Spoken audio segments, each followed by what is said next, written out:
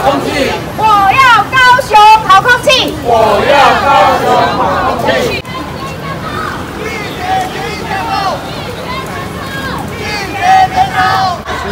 都是已经整整走了三公里，也有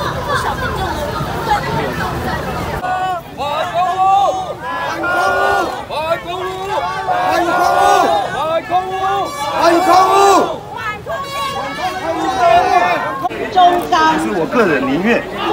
宁愿相信陈其迈委员，他是